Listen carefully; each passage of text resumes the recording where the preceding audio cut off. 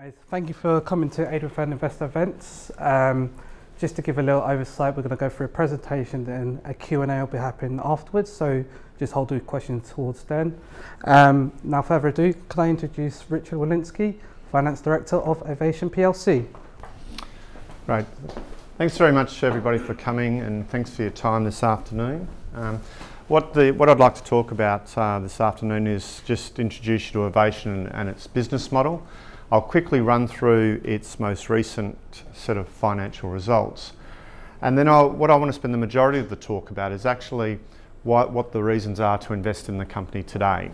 And the short answer to that question is, is, that it's a growth company. The history of this company over the 13 years of its operations is that it doubles in size every three years.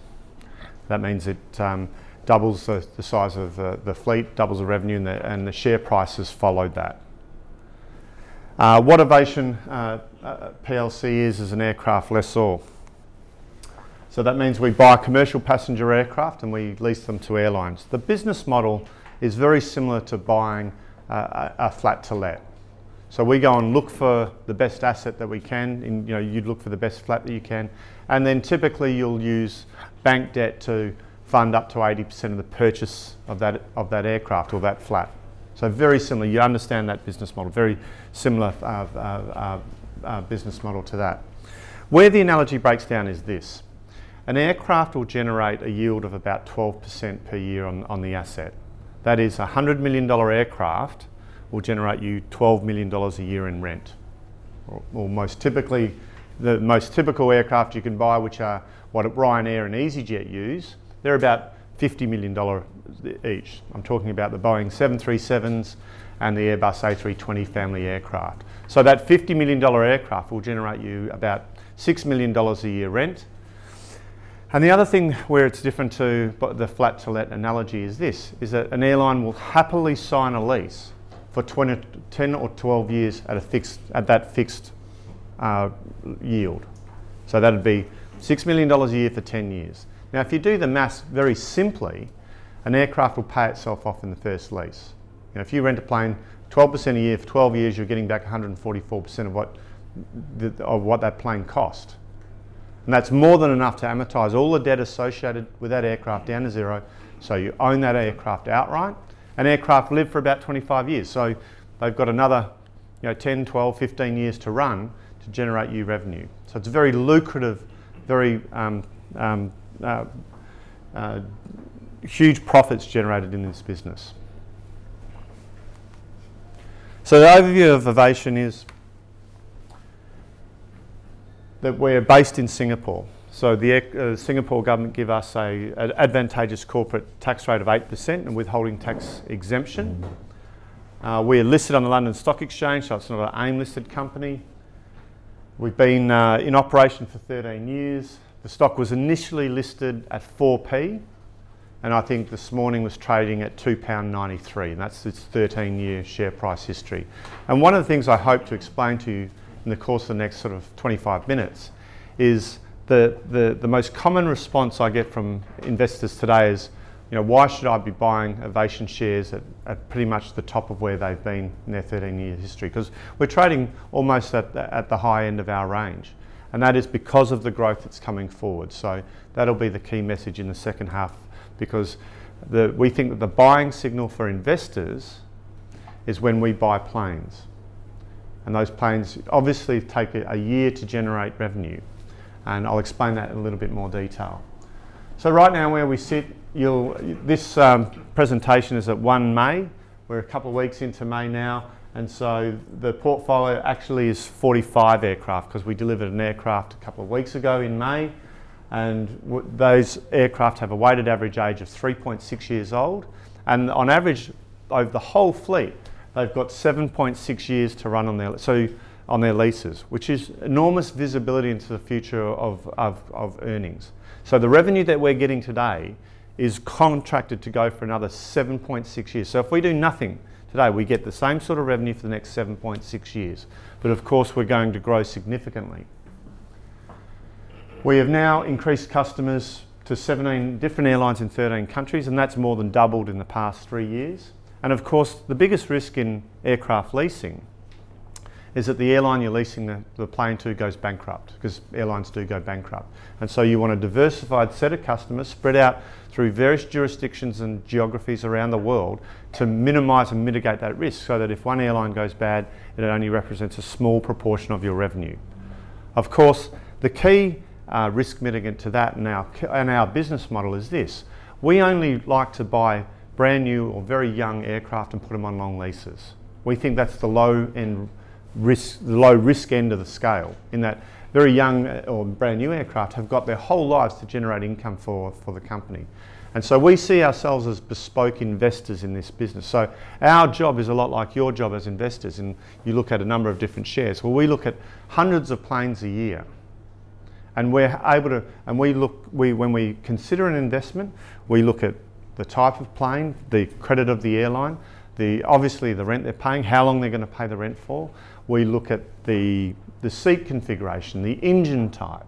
All of those things go into make up uh, the the risk um, criteria that we use to invest in a plane. And we'll rank planes and value them differently. And so while we might look at hundreds of planes a year, we might bid on 50, but we, to grow at the 30 plus percent a year that we've been growing at, we only need to end up buying seven or eight planes a year. And that is the simple reason why this company is able to grow so, uh, being able to grow so easily in that you've got to understand in our business that Boeing and Airbus, who represent 99% of the manufacture of all commercial passenger aircraft, make between 1,700 and 1,800 brand new planes a year. And they're worth $200 billion. We're a company that sits here today with under a billion and a half dollars worth of stuff, of, of, of aircraft.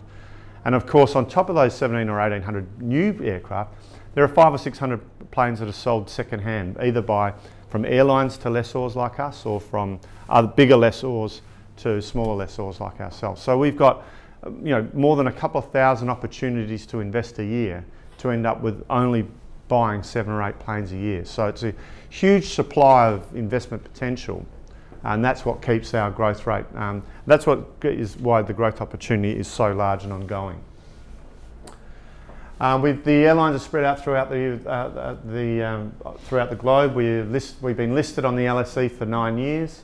Um, we also issue high yield bonds um, uh, to, uh, to finance the plane alongside the mortgage debt that we've got. And the way that it works out is that two thirds of our debt is senior amortising mortgage debt, and a third of our debt is the other high yield bonds. Um, they're publicly traded, their coupon is 6.5%. Um, but we've got to remember that that's in the scope of um, um, uh, our average cost of debt, which is four, last reported was 4.9%. That's coming down. So if you do the simple maths on our business, we're getting 12% on the assets and a cost of debt of 4.9%. So there's a net interest margin of um, over 7% there. And what we're trying to do as we evolve the business and grow the business, and what we've been successfully doing over, you know, certainly over the last half dozen years, is lowering our cost of debt each year. And as we lower our cost of debt, we're able to compete with the bigger um, lessors in our business because they're all investment grade. They have much bigger balance sheets. They can issue debt at 3.5%. And so thereafter, the business, thereafter the deals that look like you know, 20 brand new planes to British Airways or EasyJet or Ryanair. We're not competing in that space. As I said, we're bespoke investors. We're looking at the other 2,000 opportunities around the world for one and two plane deals. And that's been enough to um, drive our growth at the, at the growth rates that we've been achieving um, the, since the beginning of the company's history.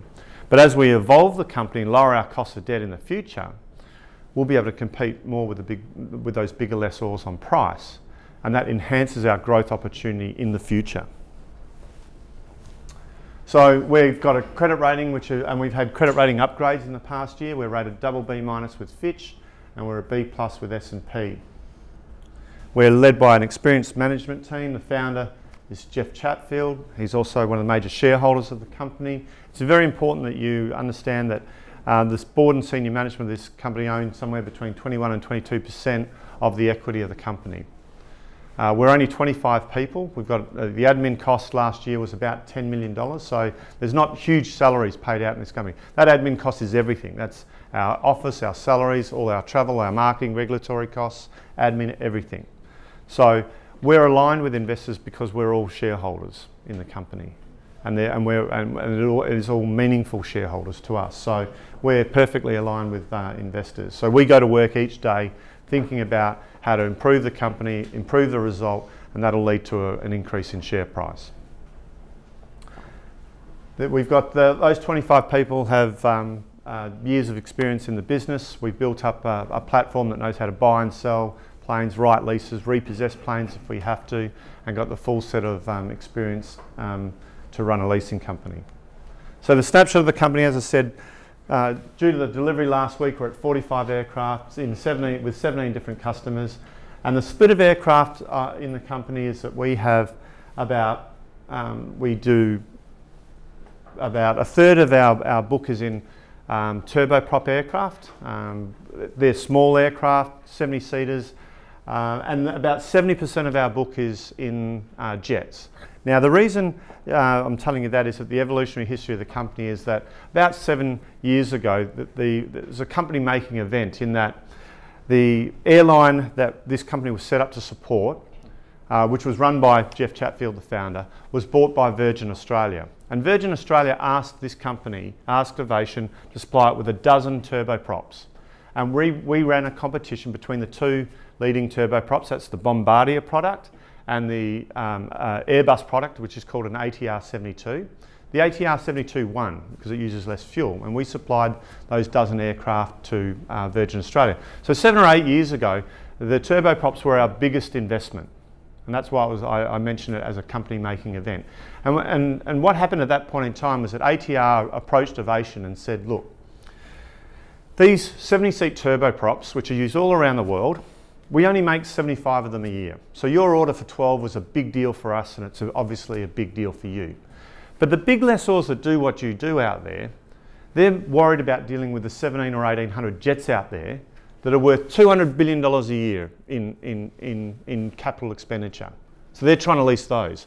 The turboprop industry is only $2 billion a year. So the jet industry is 100 times larger. So they said, we'll align ourselves with you, we'll give you a unique selling proposition in that we'll give you forward orders and forward delivery slots for these turboprops, and then you can go and market yourself to the airlines of the world. Now the beauty of the, getting those forward delivery slots is the ATR has been manufactured for 30 years. It operates in 100 different countries by 200 different airlines. So we, had, we suddenly had a reason to go and introduce ourselves and do business with all of those uh, airlines around the world. And that's what we did. And for the last seven or, seven or so years, we've been doing four or five of those ATR turboprops a year. And we've learned how to do the business. We've learned all the airlines in the business. We've um, done business with them. We've done repeat business with them. We've, we've um, built our credibility in the industry. We effectively became a big fish in that small pond of turboprops. So naturally what we did uh, about five or six years ago is started focusing on the bigger market of jets. And now jets represent 70% of our fleet. And of course, why did we do that? Why did we jump into the narrow bodies, which you know this type of stuff that Ryanair and EasyJet use, to the, even the wide bodies, the biggest types of aircraft? It's really just to, to enhance that growth opportunity and to enable us to service all the airlines of the world with the types of aircraft that they like, whether they be small, medium, or, or the large size. So we've effectively evolved the operation over the last five years to be able to deliver whatever the airlines around the world want. And that's the, one of the key reasons why I say the growth opportunity in this company is enhanced because it's only in the last couple of years we've started focusing on the jets. It's less than 18 months ago that we actually bought wide bodies, the biggest stuff. So it's that opportunity that, that has enhanced our, our ability to grow into the future. And of course, now that we've moved on to 17 customers, we all, what we hope to do is upsell to our existing customers and doubling the number of customers means that you know, as they grow their fleets, as their fleets age and need replacement, you know, that's opportunity for us to move forward and, and, and grow the company even further. So what we have right now is a very young fleet. As I said, with uh, the current run rate as we speak, um, we're collecting about $11 million a month in rent. Uh, with the growth that we've got coming, uh, by the end of June, it would be closer to $12 million a month. Now keep in mind that if you look at the analyst reports, and if you look at our half year result, we expect to probably in, in revenue to 30 June 2019, just under $120 million revenue. Now, if our run rate at that time is going to be just under $12 million a year, uh, $12 million a month, gives that foreshadows what we're going to earn for the financial year 2020. And this is the important, you know, right now I'm going to talk about exactly why to buy the shares right now. What people don't seem to understand, what we've seen historically in our share price is that when we buy planes, we get revenue from day one. But of course, with a 30 June year end, we're going to deliver, we delivered one of these 10 days ago. We're going to deliver one of these in the next week or so and another and one of these in the next couple of weeks as well. Now, we're almost into June, so those planes are virtually going to deliver no revenue to financial year 2019. But of course, they're going to deliver a full year's revenue for, uh, for 2020. And the four planes that we've already delivered since Christmas uh, you know, only generated revenue for a small proportion of 2019. So that's where the big revenue uplift. And what we've seen in our share price is that the, the, the market tends to wait for us to report that big uplift in numbers before the share price rises. So our message, my message to you as people who either own the stock or have never even heard of the stock is that the, we're going through one of the biggest growth spurts in the history of the company between Christmas and 30 June.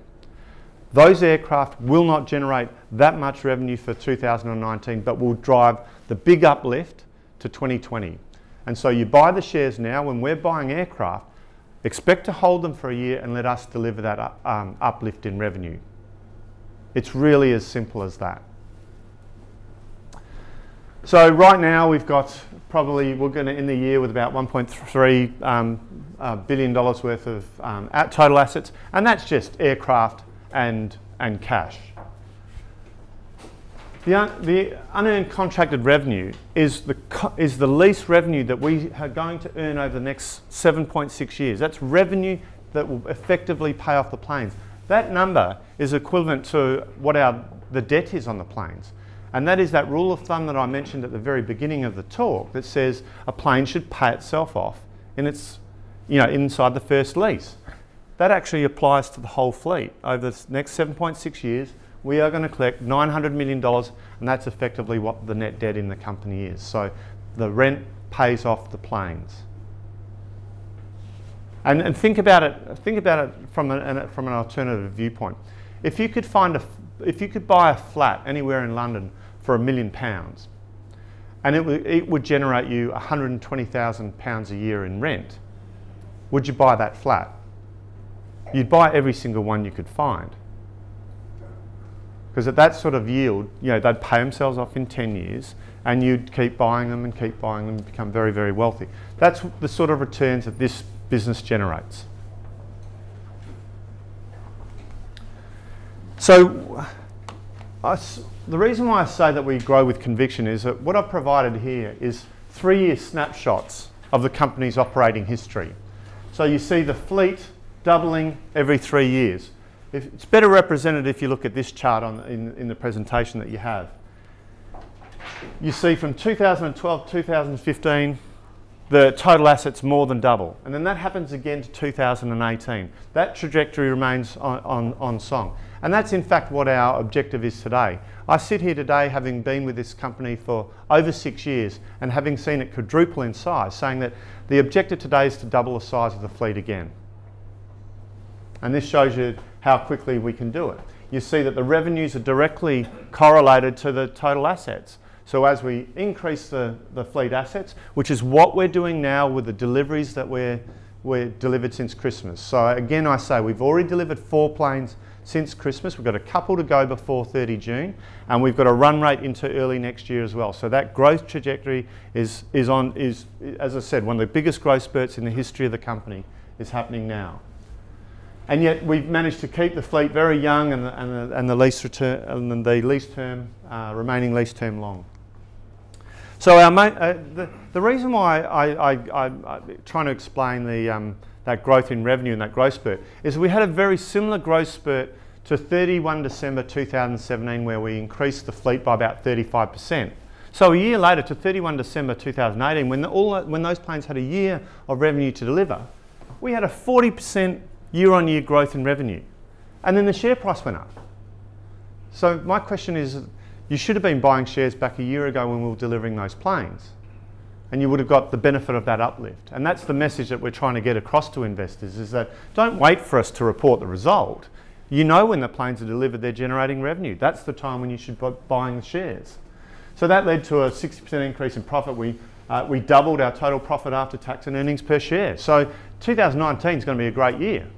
You know, we're only halfway, well, we're almost all the way through it now. So we're going to release great results in September.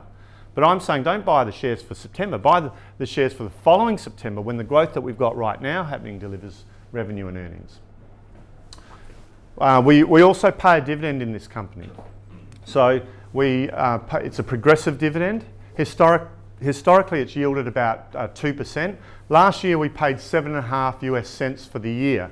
We actually paid an interim dividend already for this financial year of 2 cents. So we're going to pay a second interim dividend and we expect that to be, uh, we expect at this stage to be progressive. So it'll be you know, above five and a half cents for the remainder of this financial year to inc increase that dividend. So it does yield approximately 2% because while the, while the dividend's been going, the share price has been going up. So the yield has remained about 2%. But as I said, you buy this stock because it's a growth stock. So what have we done this year? We've uh, delivered um, well, we delivered, well, this is since uh, 1 July though, remember. So I've talked about the four deliveries since Christmas. We delivered three before that. Um, we've got a couple more to go with the Garuda and the Cebu planes.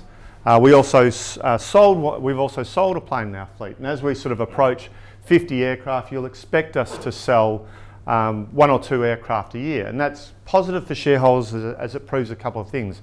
One, it delivers, it shows that the assets that we have are liquid and two, it shows them that they're fairly valued. And in fact, the plane that we sold in December, we made a, a, a huge gain on it, over $5 million gain.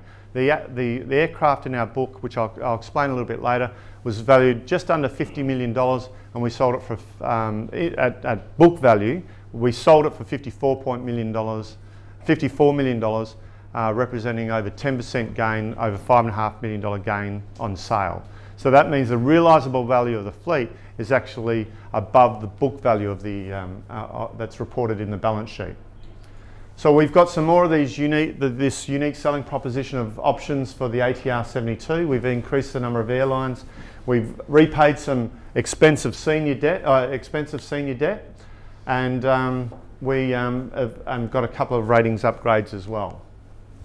So let's talk about the industry in this business, which is uh, this will help uh, you understand exactly why the returns on this business are so high because you should be sitting there wondering how can you generate such how can you generate such high yields off these assets? How can these assets generate 12% when real estate might only generate 2 or 3% yield a year? And it's fundamental supply and demand. And the supply comes from the duopoly of Boeing and Airbus who represent 99% of production of all commercial passenger aircraft. It's as simple as that. If you look at their 20 year history, they've struggled to increase production rates at about 5% a year. The demand for aircraft, on the other hand, is growth in is passenger growth. And last year that was 6.5%. Um, this year it's forecast to be 6%. And if you look at the average over the last 50 years, it's been double global GDP. And that's because you've had the creation of hundreds of millions of middle class, not only you, what we've seen in China over the last 10 or 20 years, uh, but all through Asia. You've got growth in the Western countries as well. You've got the millennial um, issue in that, you know, while the millennials aren't necessarily buying houses or cars, they're quite, they're taking twice as many um, aircraft trips as the generation before them. And so what has happened in the last 20 years is that the airlines have commoditised air travel. Air travel is no longer a luxury item. You, you, we all know that we can buy a ticket for 20 pounds and with an airline and fly just about anywhere in, in Europe. Now, obviously airlines want to sell tickets for more than that, but they've worked out the business model to enable them to fill planes. That's what airlines have done really successfully over the last 20 years. And if you probably in the last 15 years, load factors, and that's just bums on seats, had gone, have gone from the mid 60s, and British Airways was famous for flying one in every three seats empty. Now British Airways has 83% load factor. That's 83% bum. So that's how much more efficient airlines. And you know this yourself when you go catch a plane. You never get an empty seat next to you anymore, do you? You know, airline, air, airports are full, queues are long. and airplanes are full, which means that any time there is any growth, any time there's a new route, they need new equipment. If they need new equipment, every second plane in the world is leased. And in fact, off the production line today, um, like last year, I think 63% of Airbus's production was financed by lessors. You've got to remember that 20 years ago, only one in eight aircraft was leased. So the airline industry is increasingly turning to lessors as a form of financing to acquire new aircraft. So we're becoming the norm rather than the exception. And with, air, and with, and with aircraft full, routes growing, um, economic growth, the, the, the constant creation of middle classes, uh, of new middle class people, especially, especially in Asia, you're getting this new demand for aircraft. And, and because there is a limited supply and there's no substitution for Boeing or Airbus, that's why we generate such high returns in this business. There's no, and that's the fundamental reason to invest in this sector there is, and, and in this company, because those returns are guaranteed by that demand supply disequilibrium. And what we have is that if you look at both Boeing and Airbus's uh, predictions over the next 30 years, and historically, the, the global fleet has doubled every 15 years, and they expect that to occur again, which means there's going to be lots of business for us to do in the future, which means that growth opportunity that I talked to you about is still there. The biggest companies that do what we do which are, the biggest one is GE. The biggest pure play listed company is a company called AerCap, which is um, listed in the US. Its symbol is AER, if you want to look it up. They both have 14 or 1500 planes. They have $40 billion worth of aircraft. We, as I said at this, at this earlier slide, we've got less, we're approaching one and a half billion. That's how much opportunity there is for us to grow because, as I said, there are $200 billion worth of new aircraft produced every year. And that's what will lead to a doubling of the fleet again over the next sort of 15 years. And this, and this, what this also shows is some of the shocks that have hit uh, the, the airline industry. Everything from terrorist events like 9-11, health scares like Ebola and SARS, to financial events like the Asian debt crisis and the GFC. Airline growth in passenger numbers has been constant throughout that. So none of those things has put passengers off travelling. And in fact, if we're looking to opportunities of economic prosperity, that's when people take more holidays and do more business travel. So if you have a bit of a positive outlook into the near future, you know, that growth is going to accelerate. So this is what our current fleet looks like now, and this is how it's evolved over the last sort of couple of years. As I said, the company making event was our heavy investment in the turboprops. So seven years ago, uh, we had about 80% turboprop. And as we started uh, investing more in the narrow body space, and then last year into the wide body space, the jets make up about 70% of our, uh, of, our, of our balance sheet. What we have is we've still got the unique selling proposition in forward uh, options and delivery slots for these aircraft, and that's those 12 orders will be placed over the next three or four years. So on average, that means a financial commitment for us for three, three planes a year for the next four years, which is not a big financial commitment. The difference between us and the other big, the big lessors that I just mentioned is they've got orders for hundreds of jets, which, is, which are, requires billions of dollars of capital to be raised. So in December, when the equity markets turned up on their heads and, and shut down, um, the share price of those companies went down because investors realised that they had to raise money in the future and that equity and debt markets aren't necessarily always open.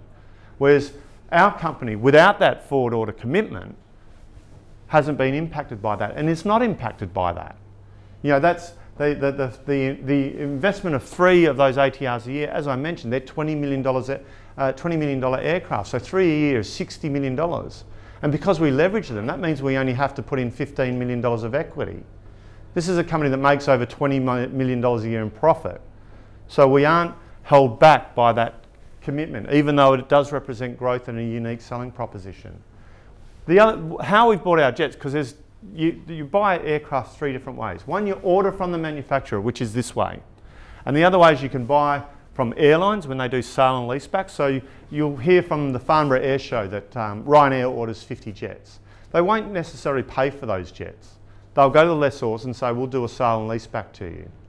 And the other way, other way that happens is that, as I mentioned, those big lessors like GE and AerCap, when they win the 20 plane order with British Airways or Ryanair, they sell down some of their exposure, sell, sell down some of their concentration, because then they've got too much exposure to one airline. And we're natural buyers of that. So we've bought from the big lessors. It's one of the reasons we've got a, it's one of the reasons why we can grow, is because we can buy planes off them. So that diversification of aircraft type also helps mitigate the risk of overinvestment in one particular aircraft type. So it lowers the risk of the portfolio. So this migration and, and diversification lowers risk in the platform. And so hopefully I've, from what I've said already, you understand why the growth opportunity is still there for this company. One, we've expanded the types of aircraft that we can buy. And, in, and obviously these start at $20 million, these at 50 and these at 100. So we can buy, not only are we buying more stuff, but the stuff we're buying is more valuable. So that's why we can invest more. That's why the growth opportunity is enhanced. And we've got a, as I said, we've doubled our number of customers in the past three years. Um, what we've done is also um, keep, kept these um, lease metrics very low. Uh, so we've, that's, we're sticking to the core business model of buying uh, very young or new stuff and putting it on long leases. And as I said, we doubled the number of customers and this is what the customer list looks like today. So there's a bunch of names here, household names that you'll know here. And we'll, currently we generate about a third of our revenue from Europe, a third from Asia, and a third from the, uh, uh, from the Australia Pacific region. And these sorts, this customer diversification is key to mitigating the key risk of airline going bankrupt. We've had, in our 13 year operating history, we've actually had uh, to repossess aircraft twice. Because not only do we see ourselves as bes are we bespoke investors with very strict investment criteria that are able to pick you know, that eight or nine or seven, eight or nine, ten aircraft a year. But we also have to be asset managers. We have to go and protect our assets when we need to. And in the two instances where we've had to repossess aircraft, we've made a profit both times. And why have we done that? The reason we've done that is because these aircraft types that I mentioned here are the most popular commercial passenger aircraft on the planet. All of these aircraft types, with the exception of the brand new uh, Airbus A220, have been in manufacture for 20 years.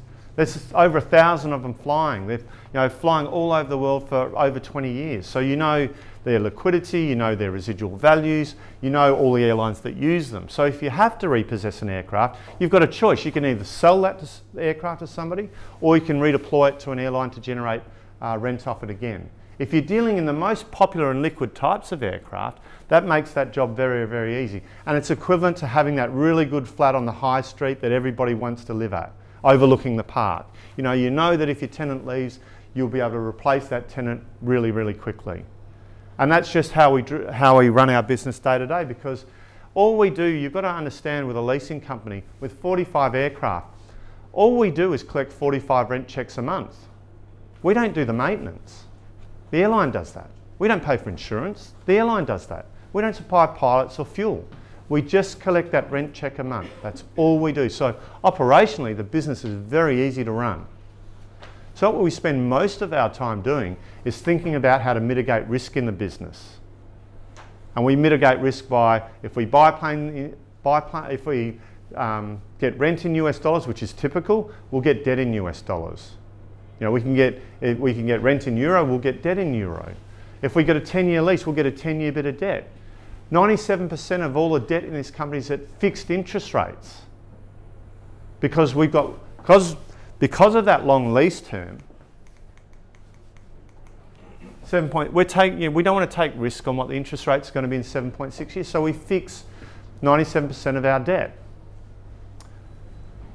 And obviously, if we were all on floating rates, the company would make a lot more profit because floating interest rates are lower. So we're, we're, we're, quite happy to make the profits that we're making and not take the risk. So not only are we diversifying, not only are we growing, um, the, the, the, credit ratings agencies are, are, reflecting that in credit rating upgrades, so they think, they're less, uh, they think that we're less risky. So hopefully that answers the second part of that question that I posed at the beginning. One, the growth opportunity is still there. One, because we can do more stuff to more airlines. But is the platform less risky? Well, It is less risky, and this slide shows it because this is the migration and, and revenue concentration over the last three and a half years. So this is the company as at 31 December 2015. We're collecting about $5 million rent per month. We only had half a dozen customers and Virgin Australia was the majority of that.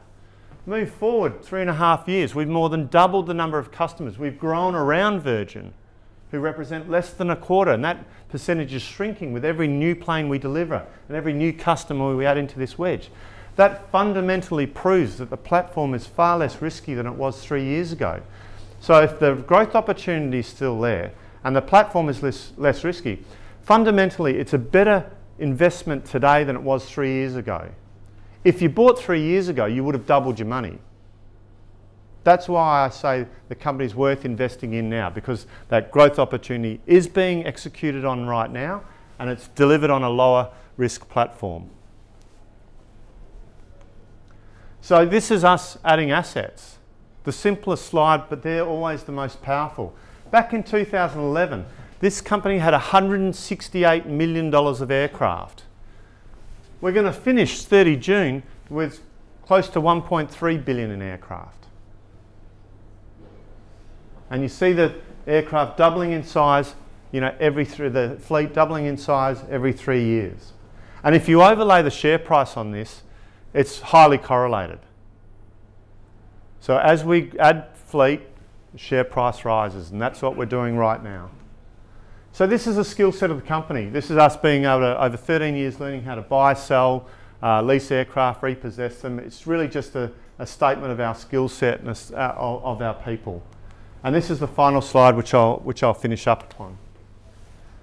We've got immediate short-term growth, not only to 30 June, but into early next year. That'll give an uplift to the revenue in, in financial year 2020. We've, the industry is doing extremely well. While there is distress in individual airlines, as an industry, we're, we're, talking about five years of record profits for airlines. And airlines have become far more efficient because they've filled aircraft, they've run their businesses better, um, they, they've used technology to sell um, tickets. You know, I can remember when I lived in, in London 20 years ago going down the high street and buying a paper ticket. And if you lost that paper ticket, you know, what were your chances of or try to change that flight. Now you can pick up your phone, buy a ticket, you can fly out of London in about four, four or five hours time. Know, that's fantastic use of technology. And they're gathering data to build new routes and, and demographics on who they're selling to. That's why airlines are doing much better than they ever have. You've got to give them credit for that. They are filling their planes. Um, we've got very young fleet with long lease terms. We're diversifying not only our airline customers, but aircraft type, and that lowers risk where as we get a better credit rating, we're lowering our cost of debt, which improves profitability for the future and, and actually enhances our um, competitiveness in the future and our growth opportunity in the future. As we evolve into being a big lessor, as we continue to grow, we'll evolve our debt capital structure, get a better credit rating, lower our cost of debt. And when we lower our cost of debt, we'll be able to compete with the big lessors on price. And that means going after the 10 or 20 planes with Ryanair and EasyJet. That's who we hope to be in four or five years' time.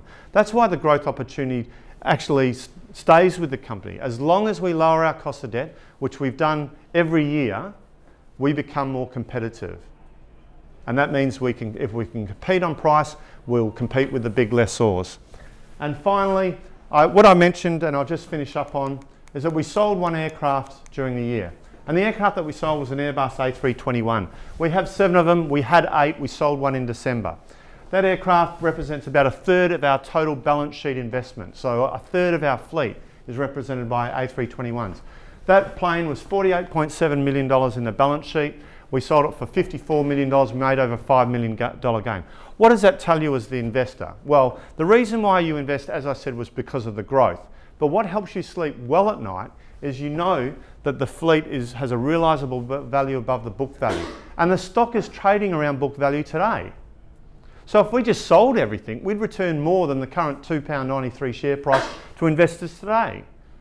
But that's not our goal. Our, our goal is to double the fleet again. And we'll, you know, if we do that, we'll double the revenues and the share price will follow.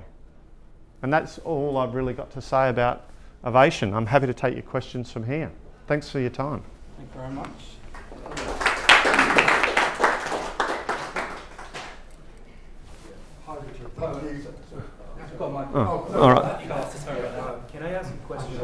So you have like a, a billion in balance sheet uh, today. Like, yeah. Uh, a little over a billion. You yeah. You're saying that you're going to double that over the next two years or so. Uh, well, historically, we've doubled every three years. Right, every three years. So um, we're assuming that if you want to add a billion, you get 80% LTV, like you said yep. you can. Uh, where does the uh, like 200 million or 250 uh, from gonna in equity come from, yeah. You're going to recycle some aircraft? Yeah. You're going to raise some equity? What, this, what, what, this is it's a great question actually because what we historically what the company does is make about twenty million dollars. Last year made twenty million dollars in profit, so that's new equity added on. Um, but what it also does, because I said two thirds of its debt stack, or two thirds of the debt that we have in the business is senior amortizing debt. So I, I mentioned that we collect forty five rent, check, rent, check, rent checks a month. We also make forty five mortgage payments a month, and last year we paid off somewhere between 50 and 60 million dollars in senior debt on top of the 20 million dollars of profit that we earn. So that's how we generate equity.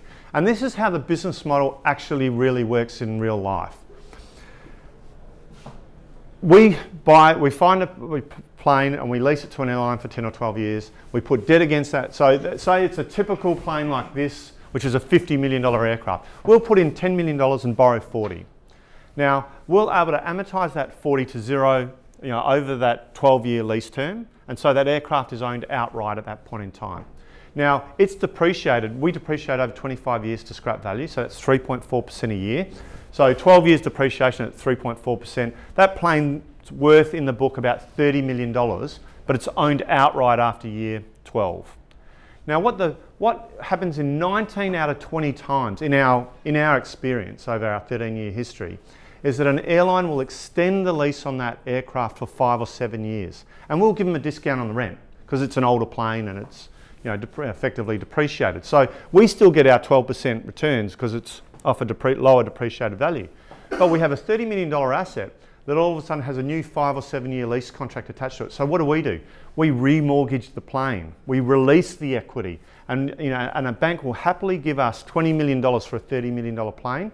Guess what? That helps us buy two brand new planes. There's the $10 million each. For, and that's all we've done for, for 13 years.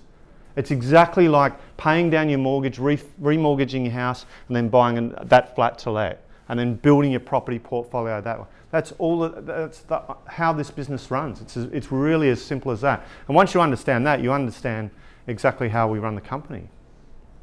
So that's where the equity comes. You release equity by remortgaging, or uh, if a plane is obviously old and unencumbered, you sell it, and, and that's you can get a leverage return off the equity on that. Hi, yeah, so mine is actually pretty much the same question. Um, you look like, so just the moment, you could expand on it a little bit.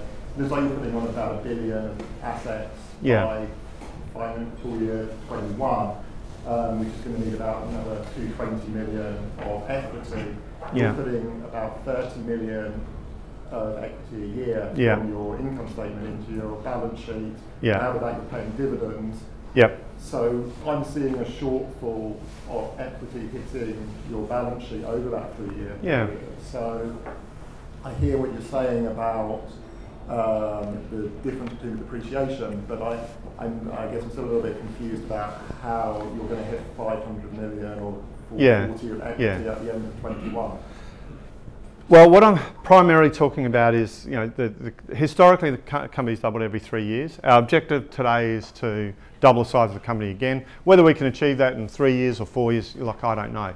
As I said, the, the prime equity comes from, um, you know, paying down, you know, 50 or 60 million dollars in senior debt every year, um, and that, you know, that's, um, you know, that's far in excess of the depreciation rate and along with the equity that we produce um, and the planes that we've got sale, you know, as of today, we've got nine unencumbered planes on the balance sheet.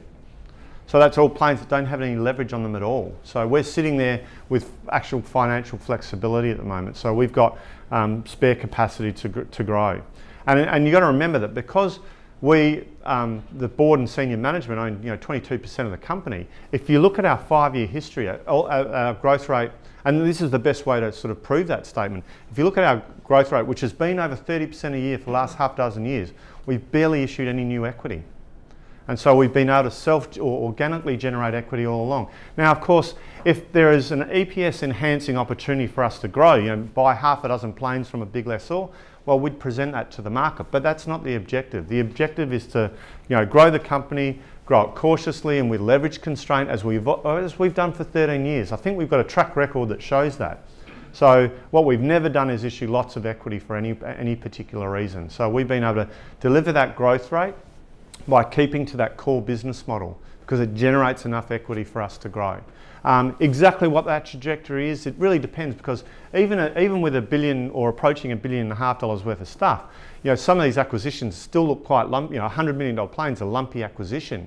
You start buying two or three planes at once, um, it, you know, these metrics move around a little bit. But, you know, we've been, uh, we've been able to generate so much um, equity organically, it's never been an issue for us. And we're, you know, because we own so much of the company, we're, you know, we're quite stingy with our, with our equity. We, we, we're kind of looking after ourselves as well as, as well as you, the investor.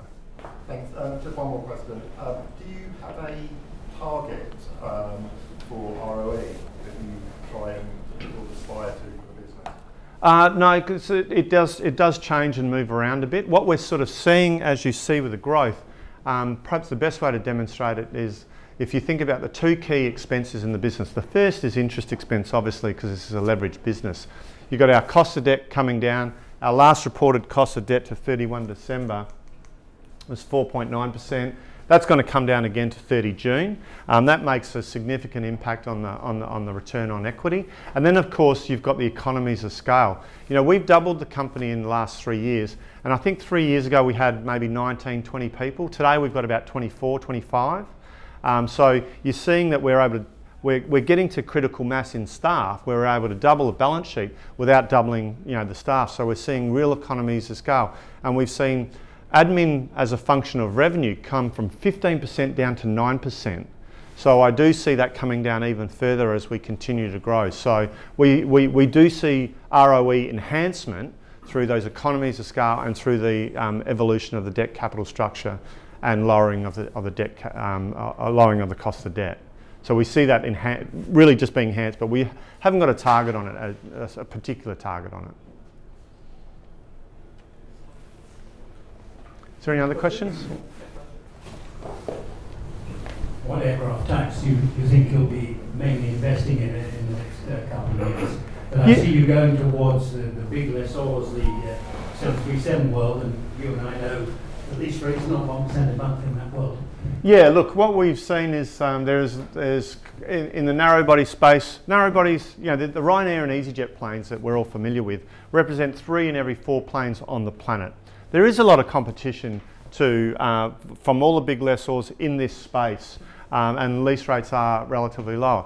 We are still bespoke investors, so we are able to find good opportunities um, that, um, that we're happy to invest in that um, not only diversify but credit enhance our fleet. The 737 that I mentioned that we're buying, you know, that's a, that's a plane that we um, signed up, uh, uh, it's a second-hand plane.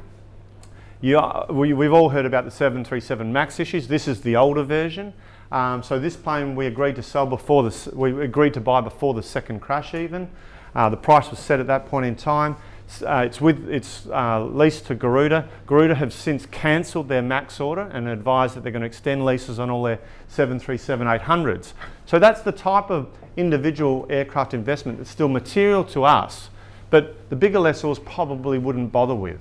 But it's, a, it's credit enhancing to us. It's a new aircraft diversification um, new customer, all of these things. And it's the right aircraft. You know, 737-800s and actually all the A320 family have all gone up in value and up in lease rate since the problems with the 737 MAX. And we don't have any exposure to the 737 MAX, not in the current fleet or anything that we're looking at in the future. So that's, you know, that's us being bespoke investors. That's us applying our strict investment criteria. As I said, we invest in the most popular types of aircraft. And as I said during the speech, each one of these aircraft has been in manufacture for over 20 years in one version or another. So it's a proven type, it's a popular type, it's spread out with airlines all over the world. The only new technology aircraft we've invested in is the Airbus A220, which was the old Bombardier product that Airbus um, took majority ownership of last year. And that was really the, the sort of the condition for our investment in that aircraft type. We felt that it needed Airbus's um, sales network and support. And Airbus now have over 400 orders for that aircraft, guaranteeing its future success. And that aircraft's a great aircraft. We, we know that from, you know, from, the, from the fuel burn rate and the efficiency, and it's been in operation for over two years. So we're happy to take an investment in an aircraft like that. It reminds me quite, uh, quite similarly to the ATR that we, we invested in you know, seven or eight years ago, in that it was really class leading, really fuel efficient, uh, and had a real opportunity. It might not suit every route, and, and you've got to remember, you know, ATRs are mission specific, route specific. They're only really good for five or 600 nautical miles, but they're in wide usage. Know, this aircraft, you know, doesn't, you know, has got a, quite a, a, strong range, but not as a bigger range as some of the other stuff. But what we're seeing, the airlines who use it are able to build um, really good low-cost carriers because their, their operating costs are extremely low if they use that aircraft. So it gives them a great chance of success. So we think that that aircraft will be successful, which is why we've taken that investment. But that's the type of aircraft that we like. We want to see it in wide usage, lots of orders, lots of uh, spread out in lots of geographies, and then we know that if any particular airline goes bad, you know, we can go repossess our aircraft and put it to and deploy it somewhere else. Hi, Richard. Uh, Perhaps you can just say a little bit more about your thought process when you decide to make a sale like the, the A321 at the end of last year. Is, is it sort of shorter term balancing the books where you can see you yeah. buying planes in the near future, or is yeah. it something to do with a, a, good bid coming on that asset and 54 million? Yeah, it's, it's, it's actually all of those things. We, you know, we look at that aircraft, we had six with Vietjet, Vietjet was our second biggest customer. It was actually higher than 15% there. We thought we had too much concentration.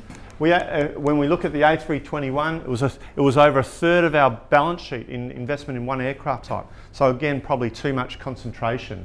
Um, we had um, you know, five identical ones with Vietjet. So we, we felt that it would help prove liquidity to investors. Uh, and we felt that um, we knew there was huge appetite for um, that sort of, that narrow body. You know, we were our history with Vietjet was that you know three years ago we we leased a couple of planes to them, and this is when they were more an up and coming airline. And then you know they we did we did great business with them. They gave us another four or five aircraft, which we did. And now now you look three years later, Vietjet's made continuous profits. It's had credit enhancement, IPO'd in the Vietnamese stock market um, really performing well. And now the big lessors are in there trying to do 10 and 20 plane deals. So we're an early mover in there. So all of those factors contributed to the value enhancement of that particular aircraft type and that particular aircraft. So, you know, we sell to reduce concentration, to release equity, um, to lower risk and to prove liquidity as well. And, and, you know, we made a great profit along the way. So as, as we're about to approach 50 aircraft in the fleet, I, you should expect as an investor to see, uh, see us sell one or two aircraft a year. Not only to prove liquidity, but because we do have aging aircraft and we need to release equity. You know, as I said, we've got some aircraft that are unencumbered on the balance sheet now. So we generate a better ROE if we sell that and use that plane to buy, say, two more that are leveraged up. So that, that's a part of the thought process as well. And in terms of your portfolio of airline clients, is, there a region you particularly like to expand, or is there marquee brands, uh, airlines that are very much on your target list? And I presume that the US is, is kind of out of reach, whilst there are the monster lessons like GE out. Well, the, the US airlines are also actively participate in the debt market, so they issue bonds and can and buy their own aircraft. And there's also you need to take into account with the US is you've got Chapter 11 protection um, when airlines go bad. So you might, may, may, may not be necessarily able to access your aircraft. So that, those are the things that sort of restrict us from there. Look, we, we're concerned about regions like South America and, and um, uh, Russia. We don't have any exposure to China, although the big Chinese airlines are fantastic. Um, you know, we, we sort of look at all the, all the issues when we, when we make our investment criteria.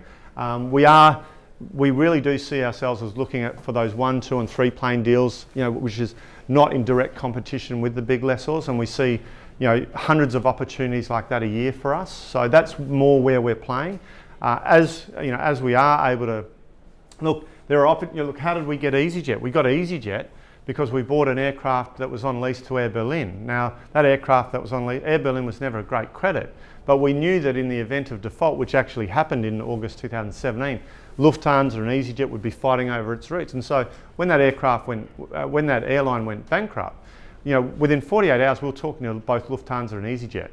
And we, and we ended up with EasyJet, as a, which is one of the best airlines on our list. So, you know, we, we look for opportunities like that that, you know, necessarily the big lessors don't. You know, that's the, Garuda plane is a similar style of investment thesis where we look at one plane that makes, uh, uh, is, is a positive for our book that may not necessarily change the, the broader portfolio, but is a great fit for our, for our fleet. Any more questions? Uh, I think, thank Thank you. Um, I know um, as a um, an SE, IFRS 16 doesn't impact you, but what about your customers? Does that change the aircraft leasing market at all? No, we haven't seen any real change in terms of, you're talking about um, the airlines having to report leases on their balance sheet, the liability of leases.